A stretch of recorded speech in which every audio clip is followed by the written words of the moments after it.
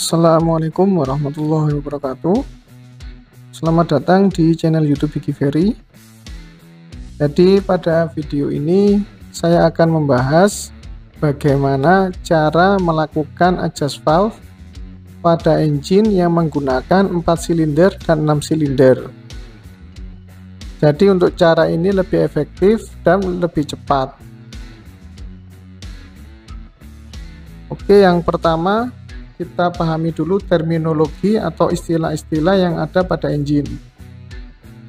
Yang pertama di sini ada TDC atau top dead center, yaitu posisi paling atas dari gerakan piston.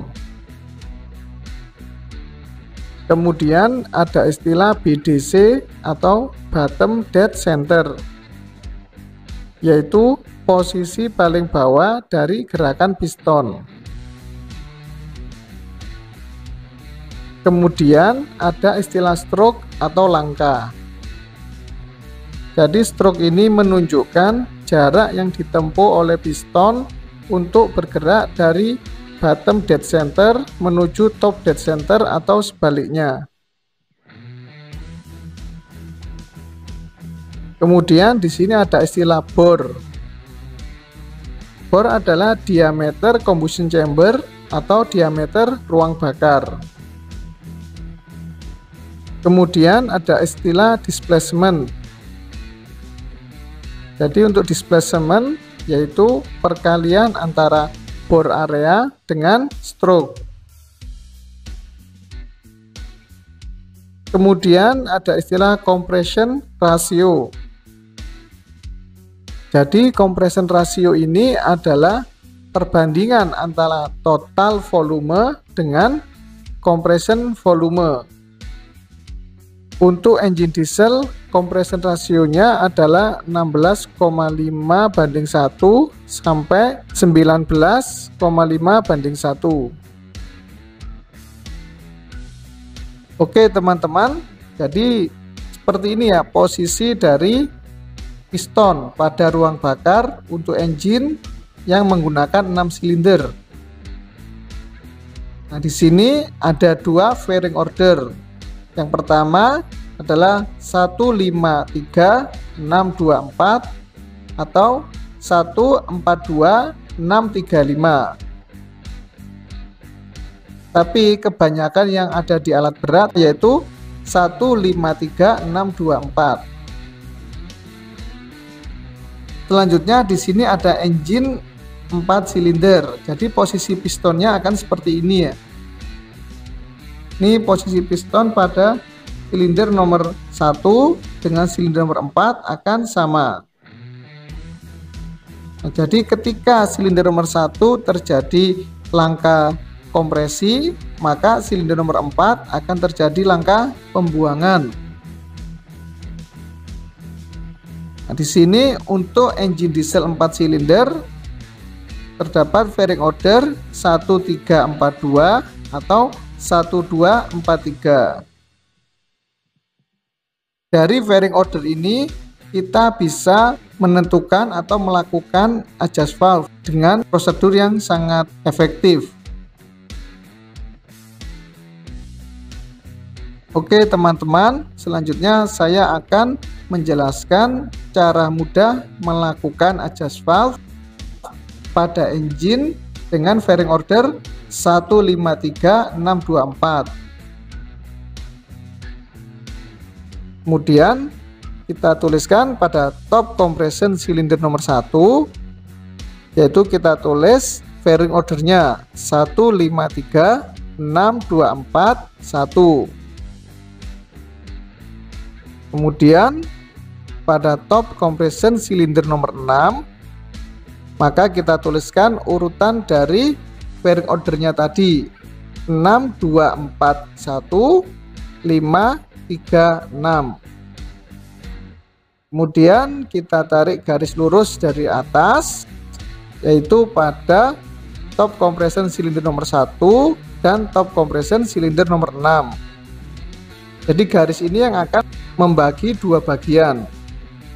Untuk sisi kiri yaitu exhaust valve dan sisi kanan yaitu intake valve.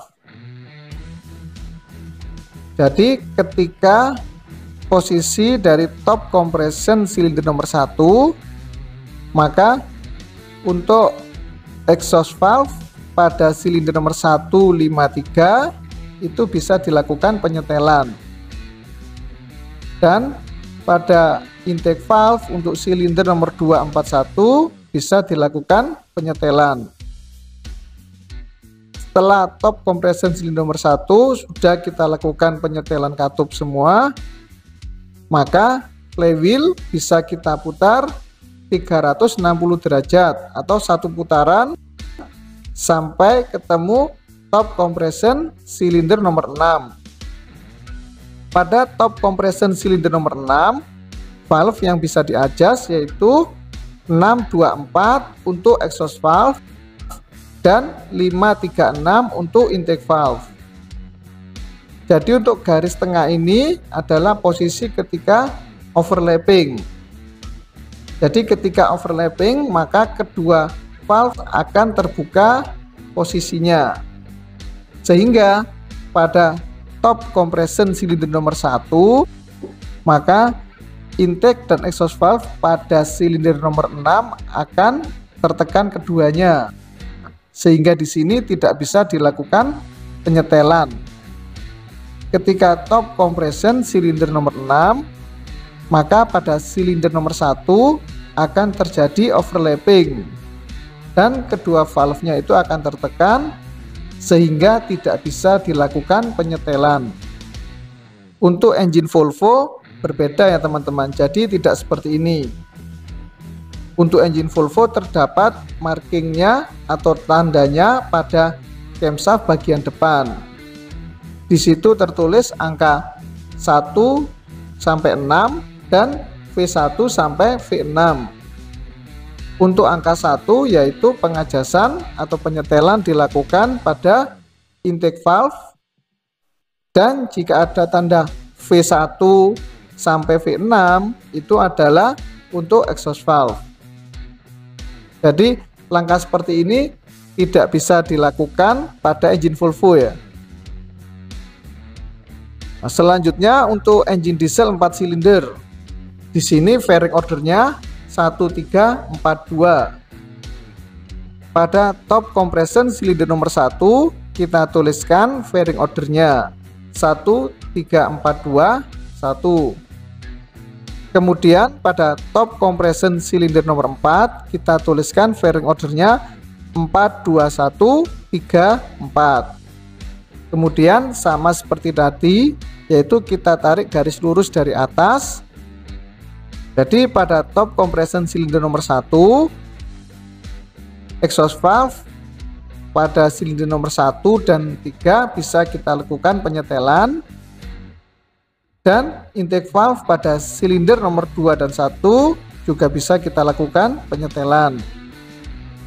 Kemudian setelah itu kita putar 360 derajat sampai ketemu top compression silinder nomor 4. Kita bisa melakukan penyetelan pada exhaust valve silinder nomor 4 dan 2 dan intake valve pada silinder nomor 3 dan 4. Ya, semoga video ini bermanfaat untuk semuanya. Terima kasih. Wassalamualaikum warahmatullahi wabarakatuh.